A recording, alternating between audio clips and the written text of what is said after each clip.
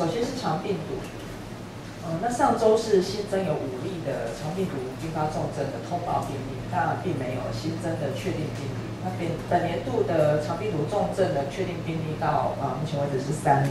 那在社区的肠病毒的病毒分型方面呢，主要还是以克沙奇 A 型的病毒为主。那在呃门诊的手足口病跟疱疹性的咽颊炎的就诊千分比的话，呃，在上周是呃持续还是呈现上升的趋势。如果分区来看的话，那大概除了东区是就诊门诊就诊的千分比是较前一周下降以外，那其他的区大部分是持平或是呈上升。在国际型方面的话，呃，日本第二十九周的手足口病的定点医师平均的报告数是较前一周是减少。在香港方面，那手足口病跟肠病毒七十一型的活跃程度还是属于高水平哦。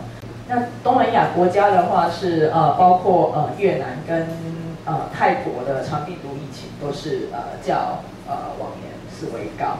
那在为了大家报告是登革热，那上周国内总共新增八例的登革热确定呃病例，那包括是两例的本土病例跟六例的是境外移入的病例。今年入夏以来，总共是两例的本土确定病例。单纯是看境外移入的病例来说，今年有。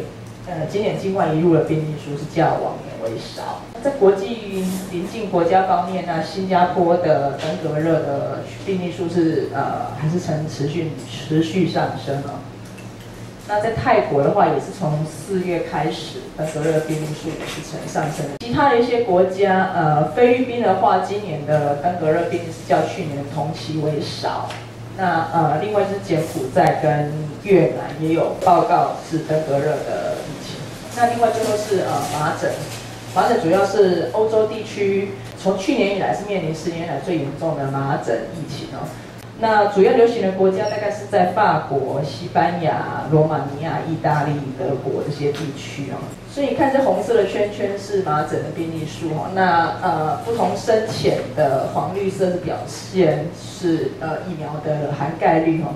那可以看到含盖率比较低的国家，麻疹的病例数大概都是比较高。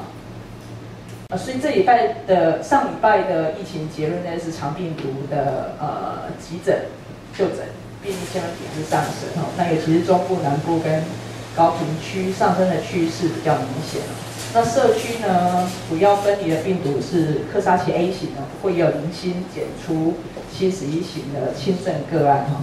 那暑假期间就是应该要注意，就是呃呃个人的卫生跟正确的洗手习惯。那另外就是高雄跟屏屏东是都有出现入夏的本土登革热病例。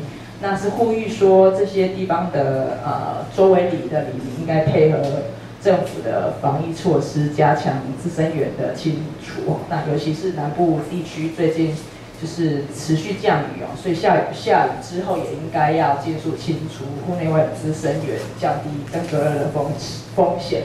那因为这是提醒，就是呃欧洲就是面临十年来最严重的麻麻疹疫情哦。那暑期间，暑假期间如果有计划前往欧洲的民众，应该先了解当地疫情。那如果是学龄儿童未接种 MMR 疫苗，或是呃二十到二十四岁的成人，应该接种完之后再前往。那另外一些出国旅游的注意事项也是提醒大家注意。那以上报告，谢谢。